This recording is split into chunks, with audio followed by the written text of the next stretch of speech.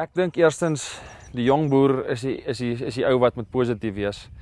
Is die ou wat die ou langsom moet moet inpraat en definitief om 'n negatiewe gesprek baie vinnig in 'n positiewe gesprek te kan verander.